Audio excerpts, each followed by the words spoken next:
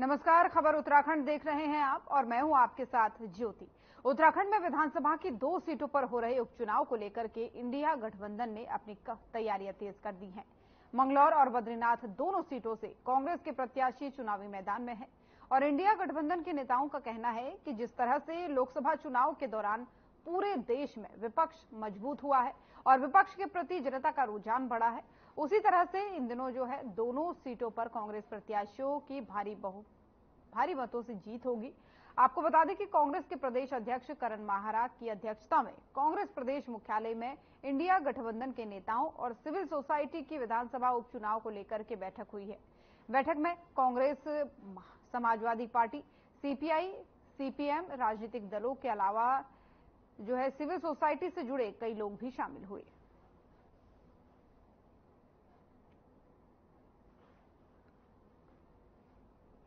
कांग्रेस भी प्रतिभाग कर रही है। और हम चाहते हैं कि हम सब लोग मिलकर जिस तरीके से देश में हमने इस बार अच्छा प्रदर्शन किया है और विपक्ष को इस लायक बनाया है कि विपक्ष अपने पैरों पर खड़ा रहे और मोदी मनमानी करने से बचे।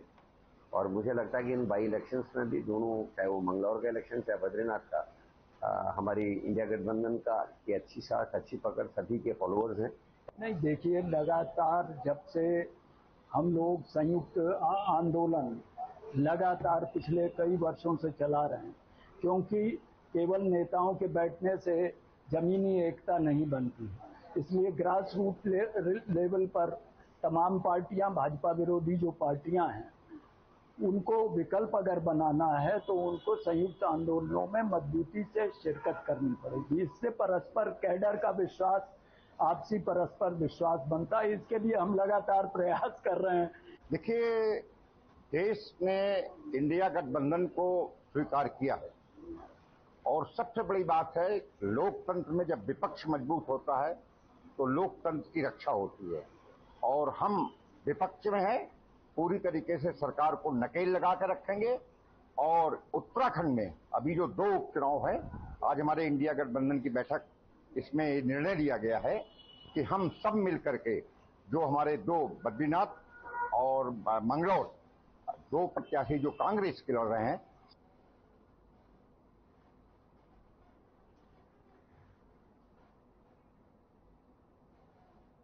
खबर जनपद उधम सिंह नगर के खटीमा से है, जहाँ खटीमा में मुख्य चौक के पास स्थित शहीद स्मारक स्थल पर नीट यूजी परीक्षा और नेट परीक्षा में अनियमितताओं और पेपर लीक को लेकर के केंद्र की बीजेपी सरकार के खिलाफ विधायक और उपनेता प्रतिपक्ष भुवन चंद्र कापड़ी के नेतृत्व में आक्रोशित कांग्रेसी कार्यकर्ताओं ने जोरदार धरना प्रदर्शन किया और भाजपा सरकार के खिलाफ जमकर नारेबाजी भी की।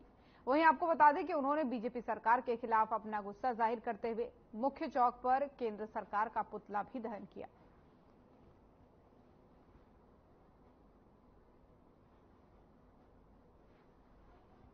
देखिए नीट और नेट दोनों के पेपर लीक हुए। 24 लाख छात्र जो दिन रात मेहनत करता है, एक आम परिवार का छात्र, एक गरीब परिवार का छात्र, जिसके माँ बाप जो है कि अपनी गाड़ी कमाई का की सारी पूंजी जो है उस बच्चे की पढ़ाई लिखाई पर लगाते हैं। और जब वो पेपर देखकर आता है उसे पता चलता है कि पेपर का सौदा पहले से हो गया। आपने देखा होगा कि एक ही कोचिंग सेंटर के बच्चों ने पूरे 100 परसेंट मार्क्स लाए हैं छह सात बच्चे। और धांधली हुई है साफ़ साफ़ स्पष्ट हो, हो रहा और इकरारनामा भी एक छात्र ने कर दिया कि उसे घर बुला लिया गया कहा कि व्यवस्था हो गई। तो उसके बावजूद भी सरकार जो है कि जो बड़े जो मेहनती छात्र हैं जो दिन रात मेहनत कर रहे हैं जो आम परिवार के छात्र हैं जो गरीब परिवार के छात्र हैं उनको न्याय देने की हिम्मत नहीं जुटा पा रही है और इस पेपर को निरस्त नहीं कर पा रही। है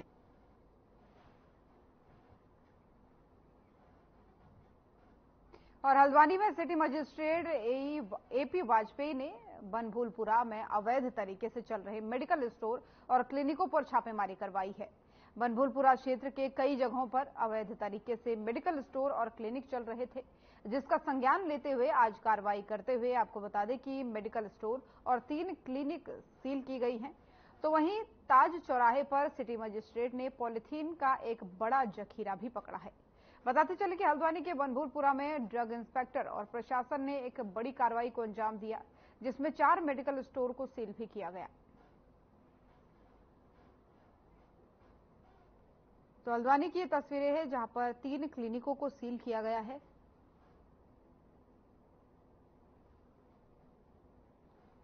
दरअसल अवैध मेडिकल स्टोर पर छापेमारी की गई थी और एक्शन मोड में प्रशासन देख रहा था। तीन क्लिनिक जिसके चलते सील कर दिए गए हैं और बताया जा रहा है कि बाकियों को भी सख्त चेतावनी दे दी गई है। दरअसल सिटी मजिस्ट्रेट का ये एक्शन देखने को मिला हल्द्वानी में और यहाँ पर अवैध मेडिकल स्टोरों के खिलाफ छापेमारी चल रही थी और इस छापेमारी के अभियान में कई लोग जो है अवैध तरीके से क्लिनिक चलाते पाए गए, जिसके चलते तीन क्लिनिक्स को यहाँ पर सील भी कर दिया गया। सिटी मजिस्ट्रेट ने एक्शन लेते हुए कहा कि जो अनियमितताएँ जिनमें पाई गई हैं उन्हें सीधे तौर पर सील कर दिया जाए और इसी इसी कड़ी में जो है कार्रवाई करते हुए तीन क्लिनिकों को जो है अवैध करने की, यानी अवैध करार देते हुए सीलिंग की कार्रवाई यहाँ पर करते हुए सिटी मजिस्ट्रेट नज़र आए। दरअसल बीते कई दिनों से शिकायतें मिल रही थी कि कई प्रकार की अनियमितताएँ जो हैं, दवाई वितरण में की जा रही हैं, क्लिनिकों में की जा रही हैं, जिसके बाद से सिटी मजिस्ट्रेट ने आदेश दिया था और इसके खिलाफ एक सुनियोजित ढंग से छापेमारी की गई। छापेमारी में कई प्रकार की अनियमितताएँ पाई गई और इसी के चलते जो है अवैध मेडिकल स्टोर पर छापेमारी करके तीन क्लिनिकों पर सीलिंग की कार्रवाई की गई। अधिकारी महोदय के आदेश थे, उसके क्रम में आज हमने औषधि नियंत्रक विभाग और जो हमारा स्वास्थ्य विभाग है, उसके साथ यहाँ पर जो मेडिकल स्टोर हैं और क्लिनिक जो अवैध रूप से चल रहे हैं, उनके खिलाफ कार्रवाई की है, उनकी जाँच की है। कुछ अनियमितताएँ हमें मिली हैं, उसमें पीसीपीएनडीटी एक्ट में कार्रवाई की जा रही है। साथ ही कुछ लोग मौके पे नहीं पाए गए तो उनके तीन क्लिनिक हमने सील किए हैं। इसके अलावा मेडिकल स्टोर में भी दो मेडिकल स्टोरों के विरुद्ध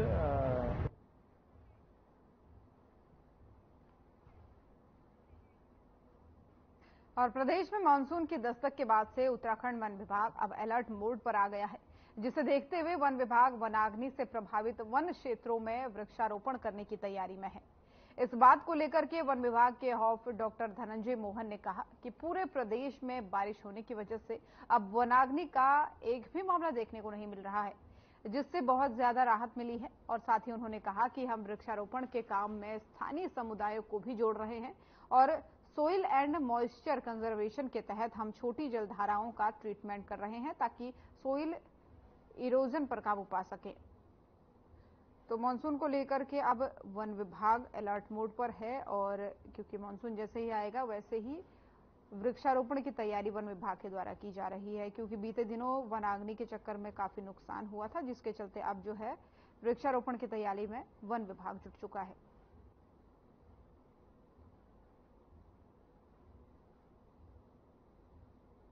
पूरे प्रदेश व्यापी बारिश हुई है, जिससे बहुत ज़्यादा राहत हुई है। आज एक भी किसी तरह का कोई अलर्ट नहीं था। फायर का था जो अलर्ट आते हैं तो फ़िलहाल समस्या पे पूरा कंट्रोल हो गया है। और अभी ये मानसून नहीं है। प्री मानसून ही है। मानसून तो यहाँ पच्चीस तारीख को आता है। तो लेकिन जो माहौल बना हुआ है, उससे लगता है कि अब आने वाले दिनों में नमी बरकरार रहेगी। ऋषिकेश और आसपास के इलाके में प्रस्तावित कॉरिडोर निर्माण को लेकर के नगर निगम में बैठक हुई। ऋषिकेश और आसपास के इलाके में प्रस्तावित कॉरिडोर निर्माण को लेकर के नगर निगम में बैठक हुई और इस बैठक में आपको बता दें कि कॉरिडोर निर्माण के लिए एक प्राइवेट कंपनी ने शहर के व्यापारियों से सुझाव लिए हैं और कंपनी का दावा है कि जो बेहतर सुझाव व्यापारियों की ओर से मिले हैं, उन पर गहनता से विचार किया जाएगा। और साथ ही जो है, जल्द ही धार्मिक और सामाजिक संगठनों के साथ भी बैठक में बैठक करके सुझाव लिए जाएँगे। और साथ ही बैठक में व्यापारियों ने कॉरिडोर निर्माण को लेकर के शहर में तोड़फोड़ नहीं करने का सुझाव सबसे पहले दिया। दूसरे नंबर पर शहर में प्राथमिकता के तौर पर पार्किंग की व्यवस्था की बात कही गई है। और इसके अलावा जो है लक्ष्मण झूला, राम झूला और चार धाम जाने वाले यात्रियों के लिए बाईपास का निर्माण करने और साथ ही शहर में फ्लाईओवर बनाने का सुझाव भी दिया गया। लगातार पड़ रही गर्मी को देखते हुए शहर के आसपास के क्षेत्र में ग्रीन कॉरिडोर का निर्माण करने की बात भी एजेंसी के एजेंसी के सामने रखी गई है। तो ऋषिकेश में एक कॉरिडोर का निर्माण होना है और जिसको लेकर के प्रस्ताव पास पहले ही हो चुका है। और अब क्योंकि जिस कंपनी को ये टेंडर दिया गया है, उसकी तरफ़ से लगातार बैठकें की जा रही है। इस बार जो बैठक हुई, वो कई मुद्दों को लेकर के व्यापारियों के साथ बैठक हुई, जिसमें व्यापारी कई तरीके के सुझाव देते हुए नज़र आए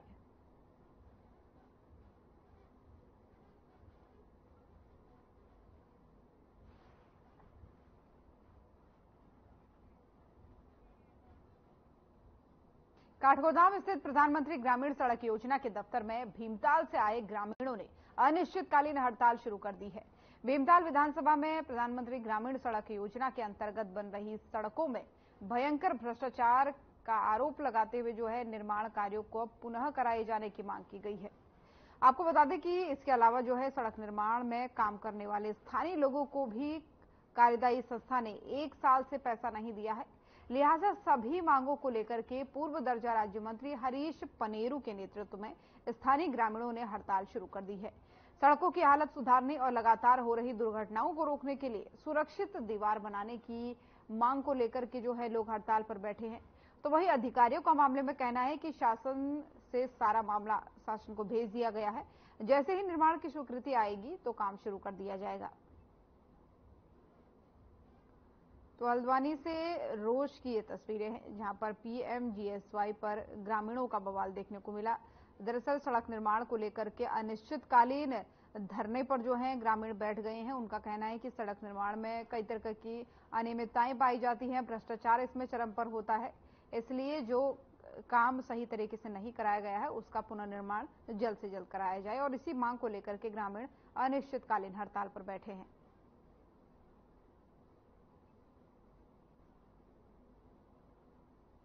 सड़क की हालत लगातार हम एक साल से इसकी मांग को उठा रहे हैं। इस पर अनियमितता हो रही नंबर एक मांग ये है। नंबर दूसरी मांग जो हमारे अनुसूचित जाति के भाई हैं, उनकी दीवाल का काम उस पर शुरू किया जाए और उनका जो पेमेंट बचा हुआ है, वो दिया जाए। अगर ये मांगें पूरी नहीं होती हैं तो निश्चित रूप से हम करो या मरो के नारे के साथ मैं आया हूँ। इस लड़ाई को हम आर पार की लड़ेंगे, क्योंकि मैं अधिकारियों को लगातार एक साल से सूचना दे रहा हूँ। इसको सुने नहीं नहीं, इसका मतलब सब भ्रष्टाचार में लिप्त है। इसमें इनकी कुछ मांगे हैं। उनको हम अभी इसमें कुछ कलवर्ट डालने की मांगे हैं। उसके लिए हम ह्यूम पाइप कलवर्ट के प्रोविज़न कर रहे हैं। कुछ दीवारें हैं जिनके वेरिएशन अभी शासन में प्रेषित किए गए हैं। जिसकी स्वीकृति आने के पश्चात वहाँ पे काम शुरू हो सकता है। दीवारों का लगभग एक करोड़ का कुछ का गया है हमारा एस्टिमेट उसका। इसके अलावा इनकी जो मांगे हैं, वो प्रतिकर से संबंधित हैं।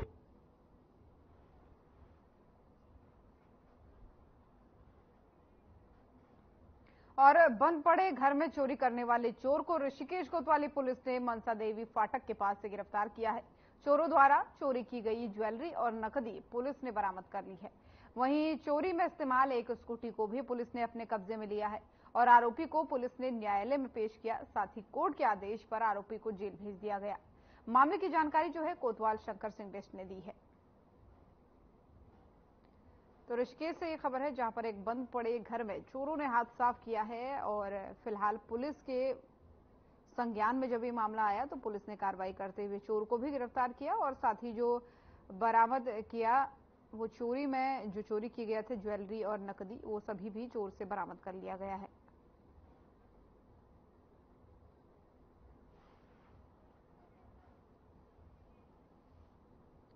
बद्रीनाथ विधानसभा उपचुनाव को लेकर के सामान्य प्रेक्षक अनीता रामाचंद्रन और व्यय प्रेक्षक मनदीप पवार ने जो है आरओ, एआरओ और नोडल अधिकारियों के साथ बैठक की है। इस दौरान उन्होंने उपचुनाव की तैयारियों को लेकर के विस्तृत जानकारी दी है। उन्होंने कहा कि निर्वाचन प्रक्रिया को जो है शांतिपूर्ण, संपन्न कराना सबका दायित्व होता है। और साथ ही साथ उन्होंने आदर्श आचार संहिता की निगरानी सहित चुनाव में होने वाले सभी गतिविधियों पर जानकारी ली और बेहतर समन्वय और समयबद्धता के साथ निर्वाचन कार्यों को पूरा करने के निर्देश भी दिए।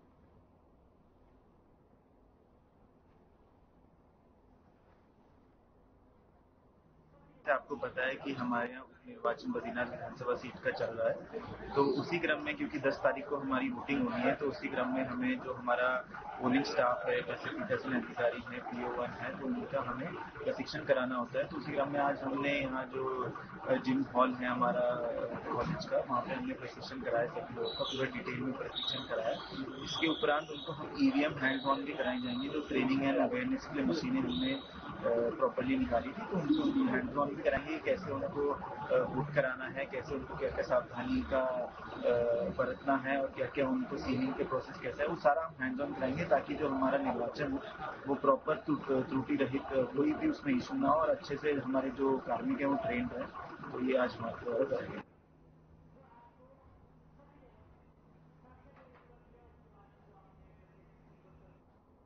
और अब खबर पिथौरागढ़ से है, जहाँ अग्निशमन एवं आपात सेवा केंद्र से फायर स्टेशन को सिलेंडर फटने की सूचना प्राप्त हुई।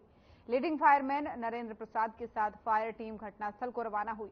वहाँ जाकर देखा तो गैस सिलेंडर के फटने से जो है, घर की दीवारें कॉलम बीम से हट गई थी और किचन में एक महिला बसंती देवी गंभीर रूप से घायल हुई।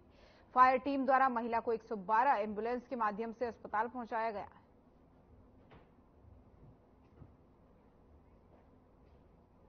तो पिथौरागढ़ की तस्वीरें हैं जहाँ पर एक महिला सिलेंडर फटने से गंभीर रूप से घायल बताई जा रही है। दरअसल, किचन में ये ब्लास्ट हुआ और गैस सिलेंडर के फटने के बाद से फायर ब्रिगेड की को सूचना दी गई, जिसके बाद से मौके पर जो है, प्रशासन के अधिकारी पहुँचे, कर्मचारी पहुँचे और देखा कि महिला गंभीर रूप से घायल हुई है और उसे तत्काल प्रभाव से अस्पताल में भर्ती कराने का काम किया गया, साथ ही आग बुझाने का काम भी किया गया। दरअसल, किचन में सिलेंडर ब्लास्ट हुआ था, जिसके बाद से ये नुकसान हुआ है और घर को भी काफ़ी क्षति पहुँची, लेकिन गंभीर रूप से महिला घायल बताई गई, जिसको आप देख सकते हैं कि जो जवान है, वो अस्पताल में भर्ती कराते हुए भी नज़र आ रहे हैं। पिथौरागढ़ का ये मामला आपको बता रहे हैं और तस्वीरें भी लगातार दिखा रहे हैं किस तरीके से जो है गंभीर रूप से घायल महिला को अस्पताल में भर्ती कराने का काम किया जा रहा है। ये जवान है और ये महिला को जो है अस्पताल लेकर के जा रहे हैं। दरअसल बताया जा रहा है कि घर में, घर के ही किचन में ब्लास्ट हुआ और सिलेंडर फटने से यह हादसा हुआ। इसमें एक महिला गंभीर रूप से घायल हुई और साथ ही बताया जा रहा है कि घर की दीवारों को भी काफ़ी नुकसान इससे पहुँचा है, बिम कॉलम को भी काफ़ी नुकसान पहुँचा है, लेकिन जो महिला घर में उस समय उपस्थित थी, उसको काफ़ी नुकसान यहाँ पर पहुँचा। गंभीर रूप से महिला घायल हो गई, चोटिल हो गई, और जिसके बाद से जो है, महिला को अस्पताल में इलाज के लिए भर्ती कराया गया है। फ़िलहाल महिला का इलाज जो है, जारी बताया जा रहा है। और रुद्रपुर के सुंदरपुर में भाखड़ा नदी में बनाई गई पुलिया को लेकर के ग्रामीण आक्रोशित हैं। इस पुलिया के निर्माण को लेकर के कई सालों से ग्रामीण प्रदर्शन कर रहे हैं। अब पुल निर्माण के लिए 16 लाख की स्वीकृति दे दी गई है, लेकिन ग्रामीणों का आरोप है कि पुल निर्माण में केवल खानापूर्ति की गई है। बीजेपी के जिला महामंत्री अमित नारंग का कहना है कि पुल निर्माण अभी अधूरा है और कुछ कांग्रेस के लोगों के इशारे पर लोग पुल निर्माण कार्य पर विरोध जता रहे हैं। तो दिनेशपुर की ये तस्वीरें हैं जहाँ देखिए, ये करीब 16 लाख की लागत से रफ्ता पुल मंजूर है। और जहाँ तक आरोप प्रत्यारोप का मामला है तो कुछ कांग्रेसी हैं कुछ सियानी बिल्ली खंबा नोचे। सरकार है नहीं उनकी, आरोप प्रत्यारोप लगाना उनका आरोप लगाना, ऐसे ऐसे काम करना उनका इस समय काम है, विपक्ष का काम ही यही है। और विपक्ष ने आज तक कभी विकास की सोच नहीं सोची। ये जब से देश आज़ाद हुआ है, यहाँ पर गाँव बसे हैं, तब से लेकर एक समस्या यहाँ पर थी कि यहाँ पर एक पुल बनना चाहिए। ये जो पुल बना है, पंजाबी का तरफ़ बना है और सुंदरपुर का कट के जाएगा ये तो ये बनाए किस लिए? नदी का पानी जो उठा के रेता उठा के तब ये पुलिया बना है आठ पाइप डाला तो सोलह लाख का सैंक्शन हुआ तो क्या बना ये इससे मत बनाओ, ज़्यादा सुंदरपुर वाला आज सत्तर साल चल जाए नदी का किनारे ऐसे चलेंगे पानी के अंदर से। देखिए, ये जो पुल अभी कुछ दिन पहले जब इस पुल का उद्घाटन हुआ था तो पूरे गाँव वाले सब खुश थे, बहुत हर्षोल्लास के साथ हम आए थे यहाँ पे। पूरे गाँव वाले ही आए थे यहाँ पे देखने पुल का उद्घाटन, और गाँव वालों ने, कई गाँव लोगों ने अपनी खुशी से, अपने पैसे से मिठाई भी बांटी थी, लोग इतने खुश थे। क्योंकि ये जो पुल है, इस पुल के लिए बहुत पहले से संघर्ष चल रहा है। मैं तो जब से समझ, मैं समझदार हुआ हूँ तब से ही देख रहा हूँ किसके लिए संघर्ष चल रहा है। ऐसे पुलिया हमें कोई काम में नहीं लगेगा। इधर से थोड़ा बनाओ उधर से काट जाए फिर सुंदरपुर का एरिया के अंदर घुस जाए पुल। ऐसे ऐसा पुल थोड़ी होगा काम काम नहीं चलेगा ऐसा पुल। क्या नाम है आपका? पुलिन ढाल कहाँ का रहना है सुंदरपुर का? अच्छा ये जो पुल बना है क्या आपके हिसाब से पुल सही बना है। ना ये नहीं बेकार हो गया ये एकदम बेकार है। हमारे विश्वास जो हमारे बीच में एक ये पुल का निर्माण हुआ था हमारे विधायक शिव अरोरा जी, माननीय इधर हमारे जो भाई अमित नारंग, इन्होंने बहुत ज़ोर के शोर से हम लोग कोशिश के बावजूद भी ये मतलब बहुत दिन बाद ये पुल का बजट जो पास हुआ, इसमें जो सुनने को आया जो 16 लाख का बजट इसमें पास हुआ है तो इसमें मेरे हिसाब से तो इसमें दो लाख रुपया भी नहीं लगा। क्योंकि यही नदी वाला जो रेता बजरी, इसी में काम चला, लायक कर दिया। ऋषिकेश पुलिस को बड़ी सफलता हाथ लगी है। पुलिस ने 24 घंटों के अंदर चोर को गिरफ़्तार कर लिया। आपको बता दें कि रोडवेज़ बस स्टैंड परिसर में स्कूटी चोरी हो गई थी, जिसके बाद से पुलिस को शिकायत दी गई कि पुलिस ने मामला संज्ञान में लिया और कार्रवाई शुरू की। पुलिस ने आरोपी को जेल भी फ़िलहाल भेज दिया है।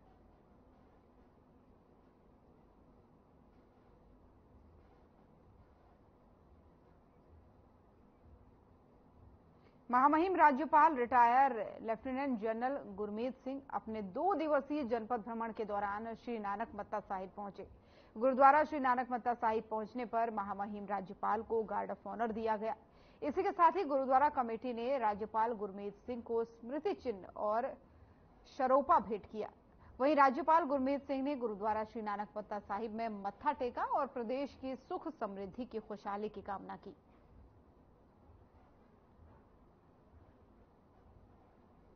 नेशन फर्स्ट राष्ट्र प्रथम और राष्ट्र समाज और जनहित ਵਿੱਚ ਪੂਰਾ ਕੰਮ ਕਰਨਾ ਚਾਹੀਦਾ ਹੈਗਾ ਮੈਨੂੰ ਤੇ ਸਭ ਤੋਂ ਵੱਡਾ ਸੰਦੇਸ਼ ਇਹੀ ਹੈਗਾ ਕਿ ਸਿੱਖ ਧਰਮ ਪੀਰੀ ਔਰ ਮੀਰ ਦੋਨਾਂ ਦਾ ਸੰਦੇਸ਼ ਹੈਗਾ ਇੰਨਾ ਵੱਡਾ ਸਪੈਕਟਰਮ ਹੈ ਇੱਕ ਸਾਈਡ ਵਿੱਚ ਡਿਵਿਨਿਟੀ ਸਪਿਰਚੁਅਲਿਟੀ ਔਰ ਦੂਜੀ ਸਾਈਡ ਵਿੱਚ ਬ੍ਰੇਵਰੀ ਕਰੇਜ ਔਰ ਜਿਹੜਾ ਗੁਰੂ ਗੋਬਿੰਦ ਸਿੰਘ ਜੀ ਨੇ ਸਾਨੂੰ ਸਿਖਾਇਆ ਹੈ ਨਿਸ਼ਚੈ ਕਰ ਆਪਣੀ ਜੀਤ ਕਰੋ ਔਰ ਦੂਜੀ ਤਰਫ ਗੁਰੂ ਨਾਨਕ ਦੇਵ ਜੀ ਨੇ ਕਿਹਾ ਹੈ ਸੱਚਖੰਡ ਵਸੇ ਨਿਰੰਕਾਰ ਇਹ ਜਿਹੜਾ ਪ੍ਰੇਮ ਹੈਗਾ ਹੈ ਇਹ ਜਿਹੜਾ ਏਕਤਾ ਹੈਗੀ ਹੈ ਇਹ ਸਭ ਤੋਂ ਵੱਡਾ ਉਪਦੇਸ਼ ਹੈਗਾ ਗੁਰੂ बद्रीनाथ और मंगलौर सीट पर उपचुनाव को लेकर के सियासी पारा चढ़ने लगा है अल्मोड़ा पहुँचे बीजेपी के प्रदेश प्रवक्ता सुरेश जोशी ने पत्रकार वार्ता में कहा कि बद्रीनाथ और मंगलौर उपचुनाव में बीजेपी की स्थिति काफ़ी मज़बूत है। जिस तरह लोकसभा चुनाव में प्रदेश की पाँचों सीटों पर बीजेपी का प्रदर्शन रहा है, उससे साफ़ हो गया है कि दोनों सीटों पर बीजेपी की जीत तय है। उन्होंने आगे कहा कि धामी सरकार जो है, वो लगातार जनता के हित में काम कर रही है। 2022 में पार्टी ने जो भी संकल्प लिए थे, उन पर काम किया जा रहा है।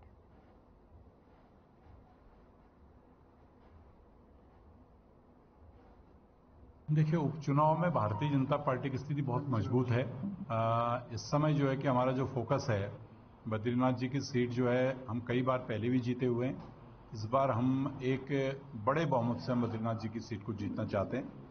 और जहाँ तक मैंगलोर सीट है मैंगलोर सीट भारतीय जनता पार्टी इस बार अपने कार्यकर्ताओं के और वहाँ की जनता के आधार पर एक अच्छे बहुमत से मैंगलोर सीट जीतेगी और हम लोग एक रिकॉर्ड बनाएँगे।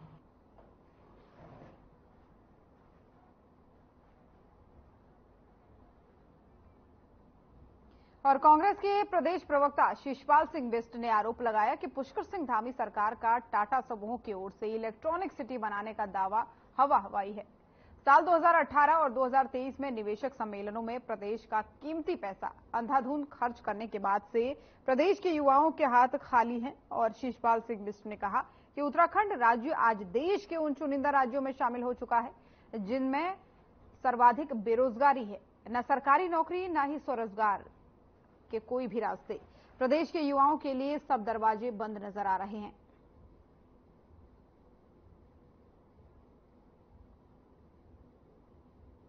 देखिए, पहाड़ में उद्योग चढ़ाने के नाम पर भाजपा सरकार ने सात सालों में राज्य के बेरोजगारों को और जनता को बहुत बड़े बड़े सपने दिखाए और 2018 में भी जो है इन्वेस्टर मीट इस राज्य में हुआ। तब डेढ़ लाख करोड़ रुपए के एमओयू होने का दावा जो है सरकार ने किया था और उस इन्वेस्टर मीट का उद्घाटन भी देश के यशस्वी प्रधानमंत्री नरेंद्र मोदी जी ने किया था। लेकिन एक रुपए का निवेश जो है उत्तराखंड में नहीं आया। फिर 2022 में यही सपना जो है भाजपा सरकार ने दोबारा से दिखाया और चार लाख करोड़ रुपए से ज़्यादा के एमओयू होने का दावा किया और इन्वेस्टर मीट के उद्घाटन में ही जो है दावा किया गया कि चालीस हज़ार करोड़ रुपए की ग्राउंडिंग हो गई है। लेकिन अभी तक कहीं चालीस रुपए की जो है ग्राउंडिंग नज़र नहीं आ रही है। केवल जो है दावे हो रहे हैं, जुमलेबाजी हो रही है, लेकिन धरातल पर जो है सरकार के दावे नहीं उतर रहे हैं। तो उत्तराखंड की खबरें देख रहे थे आप। बुलेटिन में फ़िलहाल इतना ही। नमस्कार।